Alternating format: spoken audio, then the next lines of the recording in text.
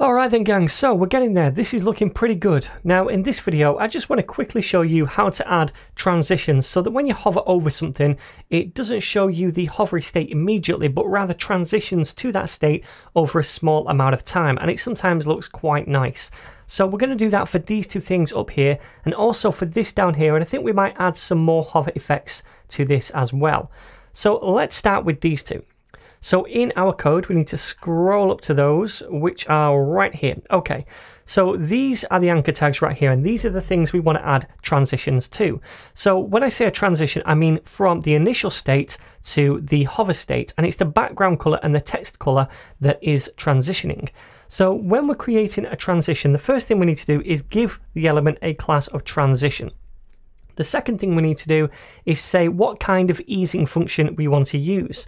So we could use ease linear, meaning it's smooth, ease in, meaning it's slower to begin with but speeds up, ease out, which means that it's slower towards the end, and ease in out, which means it's slower at the start and the end but speeds up in the middle. All right, so you can play around with these. I'm going to go with ease out, and I'm also going to set a duration to this, and that is going to be 500. So 500 milliseconds. So they're the three things we need to do. Add a transition, then the easing function, and then how long the transition should take. So I want the same transition for this anchor tag as well. So let me paste that down here. And if we check this out now, cross our fingers, hopefully this should work. Yep, it does. And that looks kind of nice, right?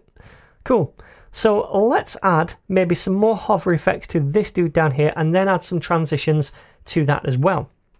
So the next hover effect, first of all, that I want to add is maybe to increase the scale of this thing and also maybe decrease the background opacity. So let me go down here and find this button. Okay, it's this thing right here.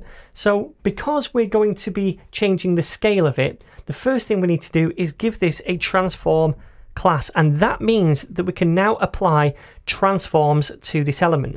So the transform that we want to apply is a scale effect but only when a user hovers over this element. So we need hover to prefix the class and then to change the scale we use scale hyphen and then the scale we want to use. So for example 1 to 5.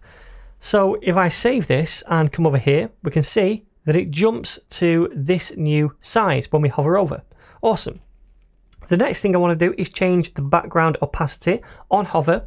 So I'm going to say hover and then to change the background opacity we use the class bg hyphen opacity and then whatever we want the opacity to be. So say for example 50%, save that and preview and now we can see the background fades out a little bit more and that means we can kind of see the inner shadow a little bit more as well which I like okay now I want to transition this so let's do the same kind of thing as we did above transition and then we want to ease out as our easing function and this time the duration let's say 300 so a little smaller than the other one so that's milliseconds 300 milliseconds so if we hover all right looks pretty nice and now we have transitions on these elements so there we go, my friends. That's how easy it is to add transitions to your HTML elements between their original state and their hover state.